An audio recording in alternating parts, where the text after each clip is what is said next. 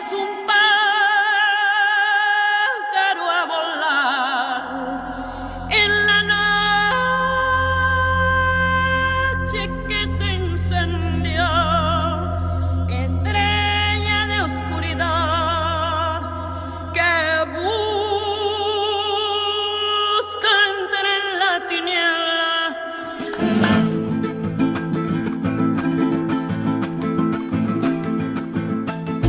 Δεν πρόλαβαν να κλείσουν οι κάλπες των εκλογών και δεκάδες χιλιάδες εργαζόμενοι που εργάζονται στα προγράμματα στάζ του δημόσιου τομέα βγήκαν στους δρόμους διεκδικώντας το αυτονόητο.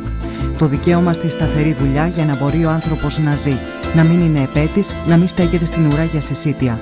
Για να μπορούν τα νέα παιδιά να κάνουν οικογένεια, να μην ζουν στην ανασφάλεια, την αβεβαιότητα.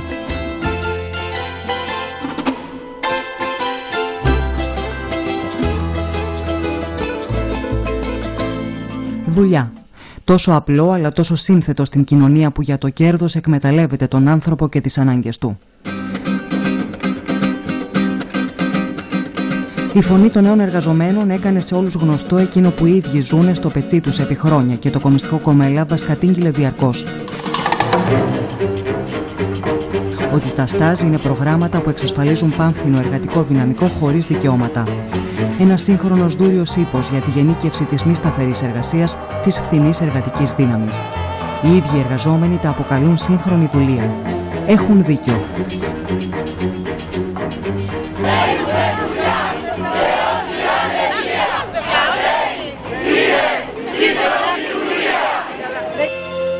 Και ειδού λοιπόν ζώμεν εις δημοκρατία. Ώστε είναι κρίμα, ε.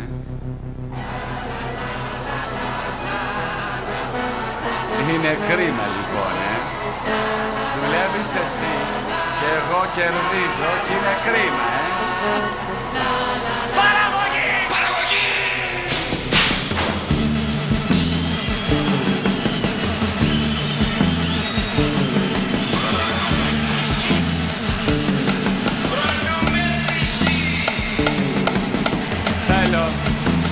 Γρήγορα τις μηχανές. Στο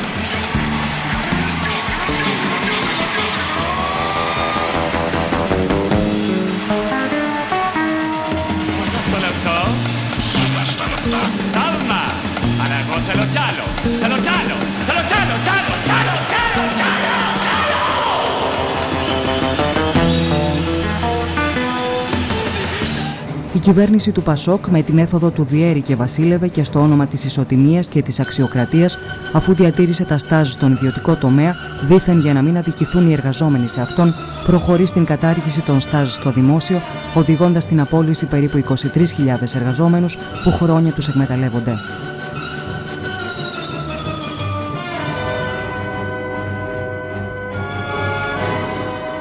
Αντί να ενταχθούν όλοι αυτοί αυτοδικαίως και να μονιμοποιηθούν στο δημόσιο, επιχειρείται να χρυσωθεί το χάπι με τη μοριοδότηση των εργαζομένων στους διαγωνισμούς για θέσεις ορισμένου χρόνου.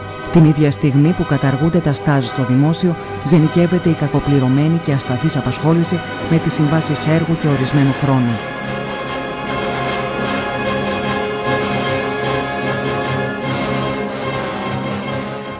Ο στόχος του κεφαλαίου για πάνθινο εργατικό δυναμικό υλοποιείται αποφασιστικά. Από κοντά και ο πρέσβης των Ηνωμένων Πολιτειών κ. Σπέκχαρτ που ζητά την κατάργηση της μονιμότητας ως προϋπόθεση εξόδου από την κρίση. Χιλιάδες παιδιά υποχρεώθηκαν να δουλέψουν κάτω από αυτές τις απαράδεκτες συνθήκες στο σύγχρονο δουλεμπόριο, ένα σύστημα που έφτιαξαν οι πολυεθνικές μαζί με την Ευρωπαϊκή Ένωση και τα κόμματά της.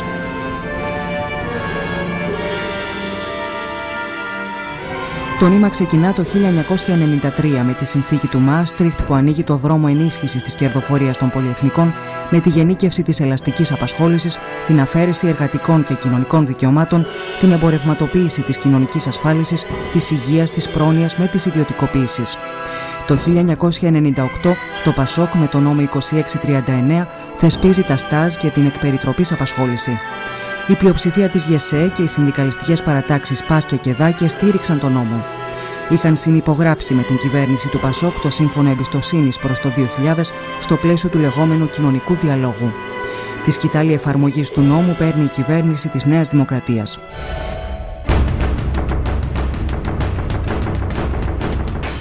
Οι εργαζόμενοι στα ΣΤΑΖ έδωσαν ένα πολύπλευρο και δύσκολο αγώνα κόντρα στις δυσκολίες της προσπάθειας δυσφήμισης και διάσπασής τους. Δεν είναι δυνατόν. Δεν είναι δυνατόν. Στάθηκαν με το κεφάλι ψηλά.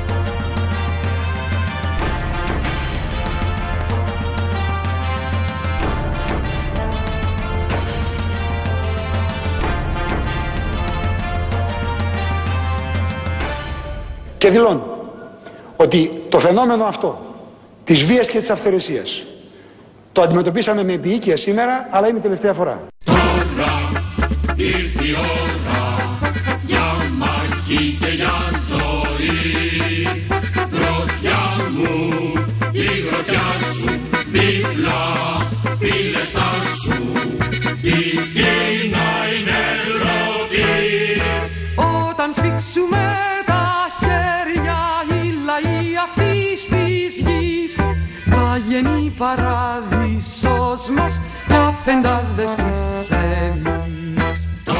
Απάντησαν σε όλους αυτούς που τους αντιμετωπίζουν σαν αναλώσιμο υλικό ότι αρνούνται αυτό το ρόλο.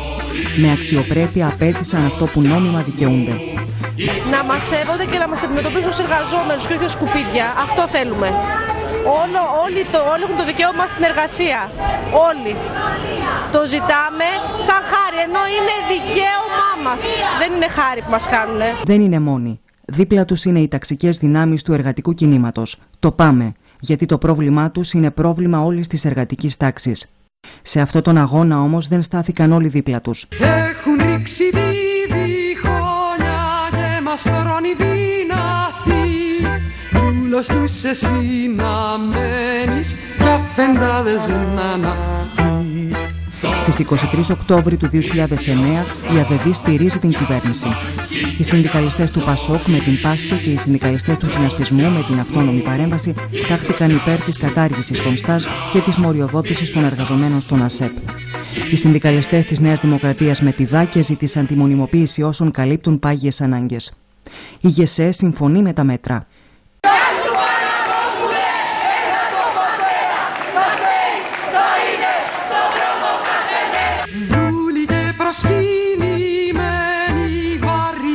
Βαριά χρυσά της γης Μαύρη μοίρα τους προσμένει σαν θα ενωθούμε εμείς Οι εργαζόμενοι στα ΣΤΑΖ δεν υποχωρούν. Προλετάριε προχώρα με τη γνώση πας μπροστά Μονιασμένοι και ενωμένοι Αντιλαμβάνονται ότι η ατομική επίλυση του προβλήματος της εργασίας όχι μόνο δεν δίνει λύση, αλλά αξιοποιείται για τη γενίκευση της ασταθούς και ευθυνής εργασίας. Διεκδικούν. Το δικαίωμα της σταθερής δουλειάς δεν μπορεί να είναι προϊόν εκβιασμού, αλλά δικαίωμα.